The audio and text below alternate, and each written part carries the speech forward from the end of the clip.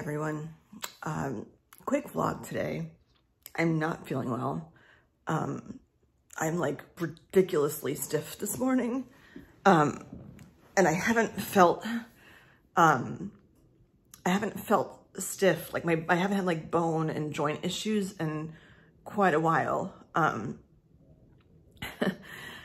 I woke up too and I was, I was like sad and I'm like, why am I sad? Like I had a, just as a timeline, I, am now, um, it's, it's near the end of April.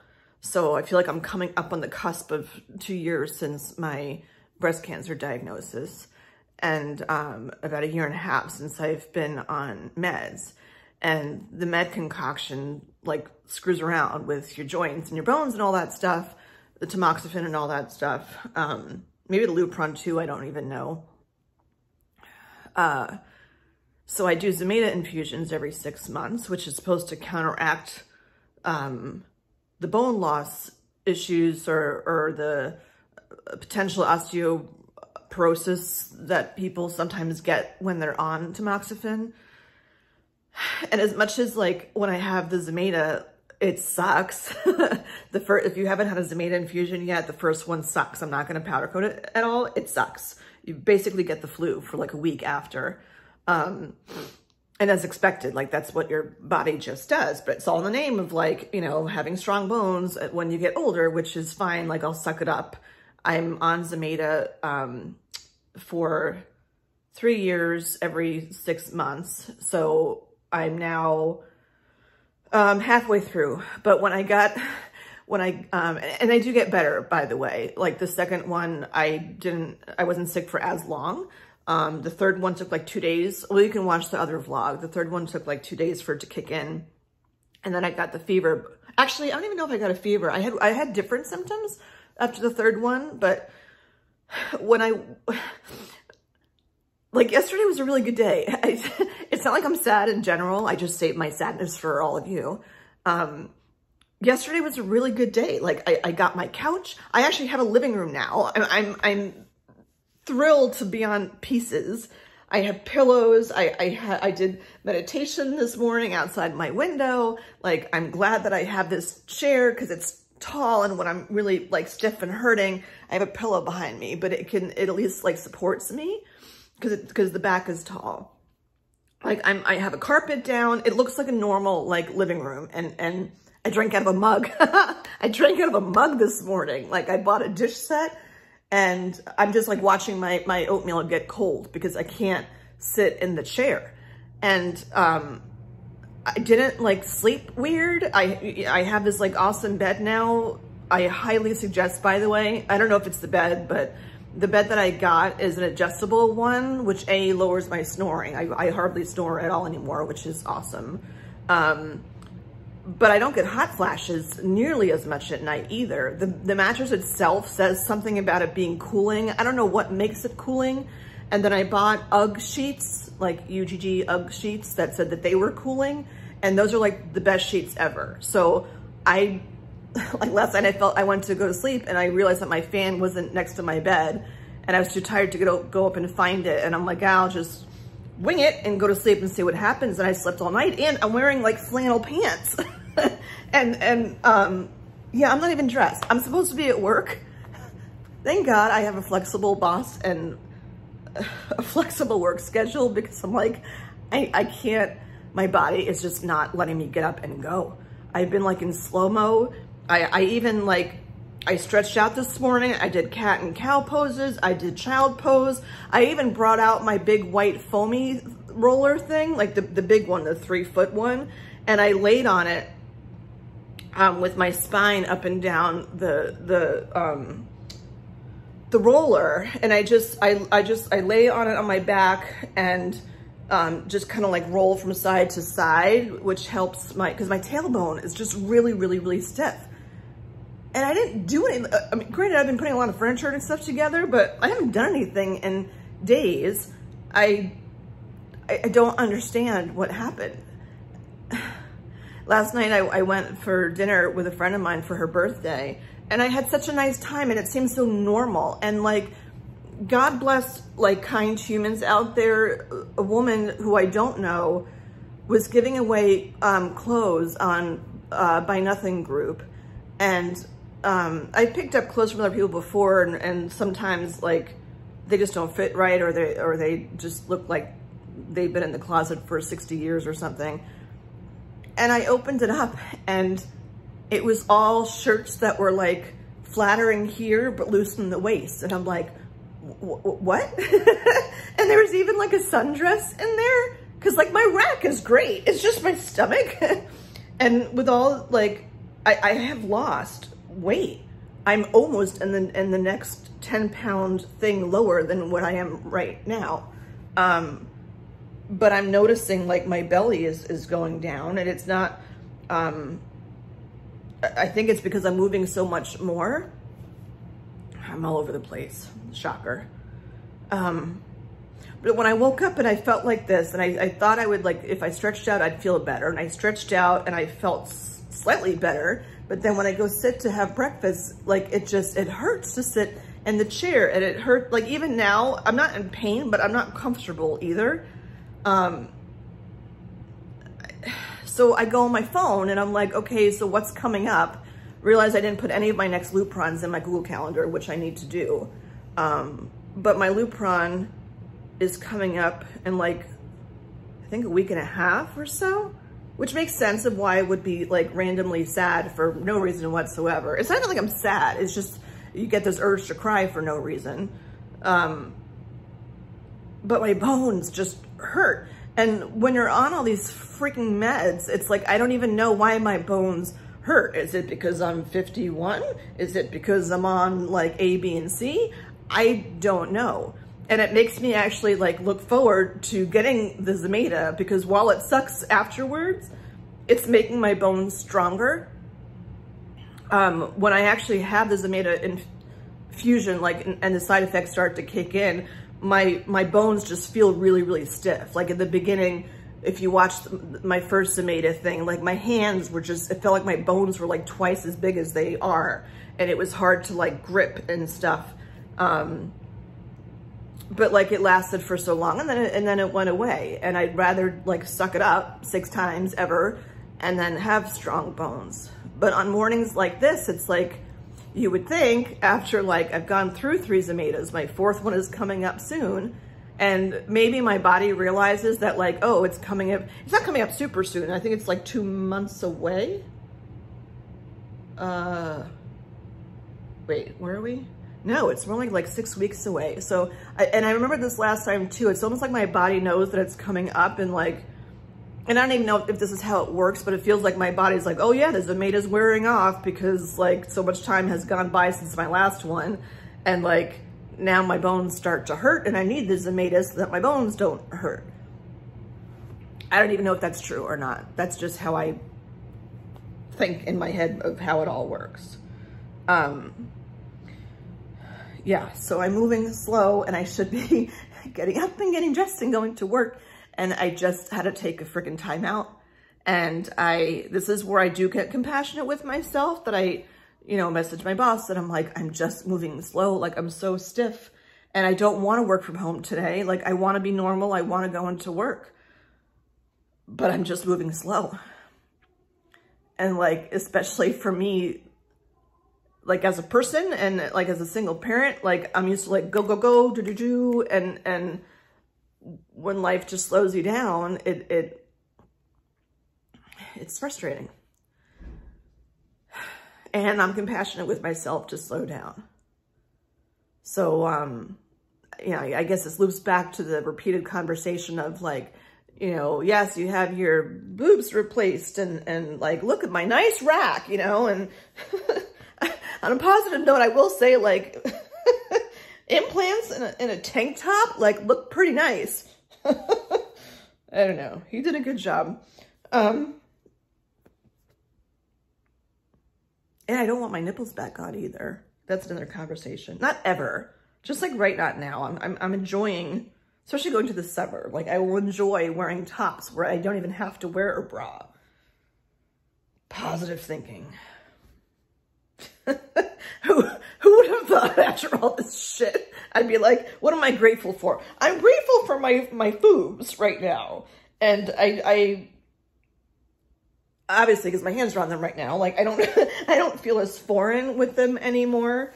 Um, I can't say that I'm fully regaining feeling with stuff because I'm, I don't really know if I am or not. The, the, the phantom feelings, like I, I, it screws with your head. Like, I don't even really know if that's what I'm feeling or if, if, if it's just like remembering what things feel like. I don't know. But I do think over time, and not to be, don't do this in public, but I do think over time, if you do touch them, and I know that, that I know that that's a big deal. It takes a long time to get there, people. It took me a very, very long time. What was it, three vlogs ago, I called them my boobs for the first time since like all this shit happened. Um, but I do feel like you can get the, like, some sensation back. Cause like as a whole, if I do this, I'm sure I'll get a lot of men looking at this and be like, oh, look, she's touching your boobs. No, it's not that kind of video. you know what's funny? My, and then I really gotta go. My, my, my largest demographic right now are men from 55 to 64. Um, well, that's it. Men from 55 to 64. Men compared to women right now are almost 75% of my viewership on these vlogs. And I wonder like, oh, are they supportive? Like the supporting their friends or, or I don't know, loved ones or wives or whatever, you know, um, going through this journey? Or are they looking for porn because they see boobs and they're like, wait a minute, that's not what I was looking for. Who the heck knows? But, um,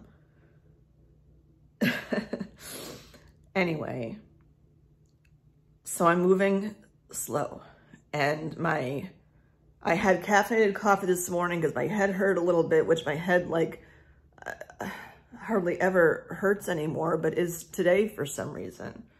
Um, when I get like this too, like my, my boobs feel like they weigh like 20,000 pounds. So like I need to wear a more supportive bra. I go back to plastics, by the way, next week for, um, so crazy, for my, I think it's three month, uh, February, March, April. Oh my gosh, yes, my three month follow up after my surgery. I can't believe it's been three months. He'd be like, how are you? I'm like, guess what happened while you were gone? Um, but he gave me a referral at one point for somebody who I think was in New Hampshire, which for me is not far, but, um, and she specializes in, in fitting women for, um, like regular bras. It's just that like, I have absolutely no idea what size bra I am. And like, I have zero desire to wear an underwire, though I do want like support because they still do sag. I mean, not sag sag, but like, um, I knew, I, I noticed with my stitches on the side that he didn't go back into, um, the line where my scar is, is getting a little bit wider and like, I don't want it to be wider. So I need to talk to him about like eliminating scars, not eliminating, but like minimizing the scars. Um, and like getting a, uh, getting the woman's name again that does bra fittings because it's, it's just very, he's like, we're sports bras, but even after all this time, like putting sports bras on and off is kind of a production. Like I'd rather have something where I can clasp in the front or the back. Anyway, so yeah, I, I got, I have to get going to work. Um, but I just want to come on because it's a stiff morning and you know, for the people that are like, oh, you know, you didn't need chemo, you didn't need radiation, you're fine. And then you just wake up on a random day and I'm like, I am hurting and like it sucks. And I don't want to like take Tylenol. I'd rather like stretch it out and stuff, but I don't know. And it's like my body is just, my body's not allowing me to do what my head wants to do. I don't know. It's frustrating. Anyhow. So yeah, it's not all peaches and cream just because you have the surgery done or just because, you know, just because you're cancer free doesn't mean like your life goes back to what it was. Which is good in some ways and not good in others. Um, anyhow, I'm to get ready for work and I'm going to move slowly and just gotta be patient with myself. I feel like that's the big, the P word. the P word of the lesson of like so much of this is just patience. And I'm trying very hard to live in the moment and, you know, just be present in the present and just take it for what it is. But that is way easier said than done. Um, yeah, and all my, my, my, my power women that are in my paving, my, my power paving, uh, I need to think of another P word. I'd say princesses, but they're, they're more than princesses. They're like freaking tough ass queens, but that doesn't start with a P.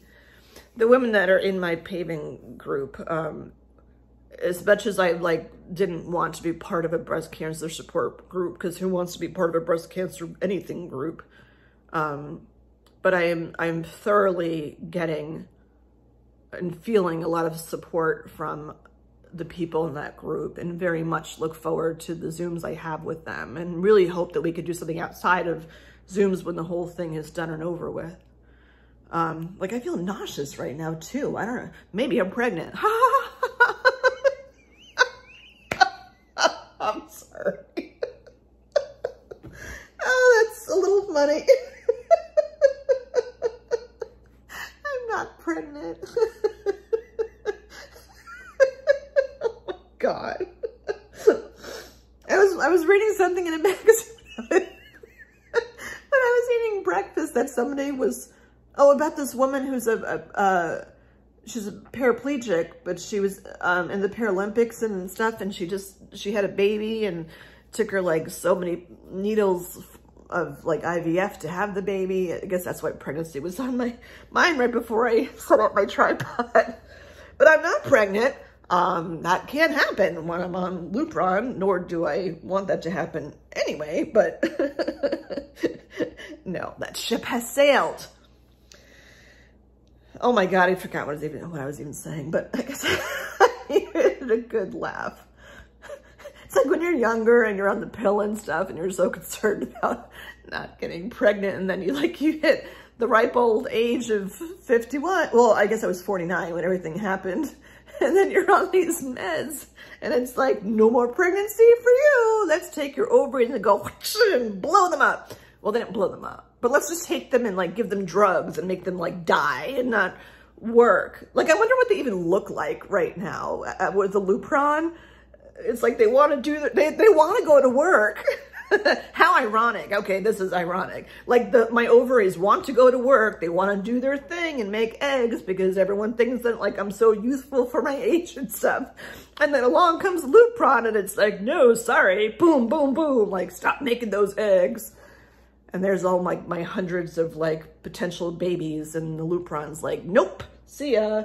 That was dark, sorry. Um, yeah, I wonder what they look like. I don't know. But the stomach thing is interesting to me because I am going, ugh, it's like so many doctor's appointments are coming up and freaking I have to go because I've been on 18 minutes already. Um, I do, I am going to see the gynecologist, um, I think in like two months. It's like everything happens in like two months, which makes sense because that'll be close to the two year mark from diagnosis when I had like all my appointments and stuff. Um, and I am going for a bone density scan um, which they do two years after you start the loop or the ugh, the Zometa to see like how well it's working. Um, so I'll be curious to see what my bones look like. My bone density scan was fine when I had it before the Zometa, so hopefully it continues to be so. Um, and I started saying something before that, and now it's like totally out of my head. I don't know, but I need to get my button gear. I need to get to work. Uh, Oh. I love my friends, by the way. I just like throw that out there, but it's, it's my last minute. It's my last 45 seconds because I got to get my show on the road. Um, oh, I, think I was relating like the Lupron to like life right now, where you want to go about your business, but you can't because all these drugs are like changing your body. Oh, and my uterus, that's what it was. um, going back from my appointment, um, like I, I, talked a while ago about how I, I, felt like I looked like I was pregnant. Um, it's not like it, my weight gain is not about like fat. I don't really understand like it's like I can pinch an inch on my belly. It's almost just like my organs are just all moved around because my uterus is just not happy. Like my girl parts are just not happy. Some have been removed, but the ones that are there just aren't happy because of all the shit that's that's going on. And I know like you can diet all you want to, that's not going to change the size of your uterus, but um I'm I I'm hoping that when I go to see the gynecologist in like two weeks or two months or whatever, or whatever it is for my appointment, um, that maybe my uterus like calmed down a little bit and is getting more used to all this crap. And maybe I am like naturally in menopause at this point, God willing. Um, and, and that's why my stomach is like kind of getting back down to normal, not normal, but like less than it was before. I don't know, hard to tell. But I say that I love my friends. I was talking last night um, when we were out for dinner that like since the whole word journey, I've, my expectations about people have certainly kind of gone out the window um, because of what I saw with like who stuck around, who was there to support me and who just kind of disappeared or ignored the fact that I even had anything go wrong. I was around a whole bunch of people this weekend that have not seen me since my diagnosis. And only one of them asked me anything about like how I'm feeling. And I'm like, really? Like I went through a life altering fucking crazy, crazy, crazy experience. And I can't try to understand why. I don't want to understand why. But the protective gen of Jen is like, I need to focus on the people that make me feel good.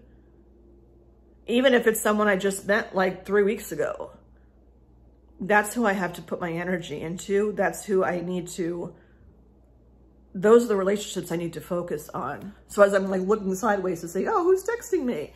You know, you shouldn't have to try so hard. Like, I'll, I'll leave you with this, which has nothing to do with, ah, fuck.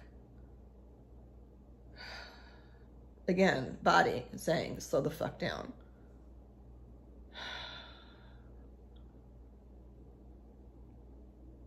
I need a, a good name for my foobs. I don't know what. But that twinge I just had, like, that's all muscular. And it's just because I'm talking a lot. And I, even though I'm not moving, like, the act of talking is moving. And my left boob, which is the one where they did all the work, is just, like, I get this psht feeling. And it's just, like, slow the hell down. So I will speak slower and finish my thought about friends and then hang up with all of you. Um, yeah, I, I have stopped trying to, um, I mean, any relationship takes work, but if you're the only one doing the work, that's not really a relationship. I don't even just mean romantic. I mean like friendships, family, all of that. And I admit, like, I, you know, I have been spacey since all this stuff happened. Um, but that's why, like, I leave myself notes and reminders on my phone or on Alexa or uh, on Google Calendar or whatever so I don't forget things. Like I set a ton of reminders for things so I don't forget. But I don't I don't bend over backwards anymore to try to be around the people that I used to be around when they're not trying to be around me. Like the right people will come into into my life and the right people will stay. And um right now, like I I weirdly I I don't think I've had a group of friends like this gosh since like high school where like I can call people and and we'll like get up and go to a concert or we'll go shoot pool or we'll have like a nice dinner out. Like the things that I like to do. And I don't have to like try so hard because I know that they want to do those things too and they want to spend time with me too. And I mean, yes, it's a conscious thing, but it has to be a give and take. And my friend that just texted me when I went sideways like that, um, yeah, she's just like checking in, like, you know, it's been a while, how you doing, blah, blah, blah. And then we'll go do something together. And I love that. You know, it can't just be one-sided and you can't be chasing the people that disappeared. I mean, you know, you can up to a certain point, but if, again, if you're the only one who's working at all of it, that's not, that's not a healthy relationship. It's, it's got to be both ways. So I'm very grateful for my friends and, um, yeah, they, they, they, they keep me going. My friend came over to help me put my couch together. I haven't seen her in like forever. Um, and I had such a blast with her. It was just such like a normal thing. Like, you know, your friend comes over to help you put furniture together and like, you know, she's pretty strong and she, and it was just, it was fun and it was light and, and we just like enjoyed each other's company. And at the end of the day, I have a living room and it's awesome. All right, I'm going to go now and eat my now cold oatmeal um, and just move slow and get to where I'm going. Um, fashion's not going to be my friend today. I don't really care. I need to wear heels. I've been wearing flat shoes, and I think that's not been helping too with my Achilles. It looks intimidating to wear like three inch heels, but right now, like, I need to have a heel because my Achilles has been bothering me again. But my shoes are all in boxes. I don't know where my shoes are for the spring that have heels, but um, I'll do the best that I can. All right, everyone, be kind and compassionate with yourself today. And uh, that's all I got. So till next time, bye.